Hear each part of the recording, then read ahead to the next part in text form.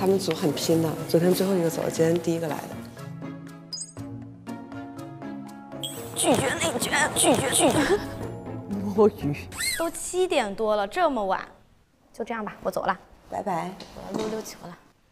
不要卷我，谁都不要卷我，我要回 回家了。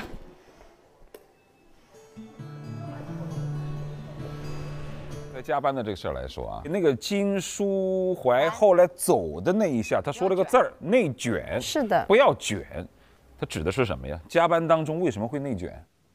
有些人为了给上司看我的努力的时候，故意多加班。加班代表的是你的勤奋嘛。那你看到这样的人，你会怎样呢？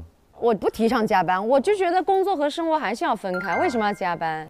我是觉得要看工作的种类跟性质了啊，尤其是现在创意型的工作越来越多了，其实甚至大家的那个工作跟生活都不是能分得特别开了。你不是说你到六点下班，电脑一关，你脑子里就不想工作的事情了。对他们效果的人发朋友圈，半夜凌晨两三点都是段子。是这样的，我感觉他们什么生活和工作不是融为一体吗？对，很难展示。我反倒的观点就是，大家不要一直想着说我一定要把它分开。如果你的工作是像我们这样创意型的工作，你就接受它是跟你的生活会融为一体的。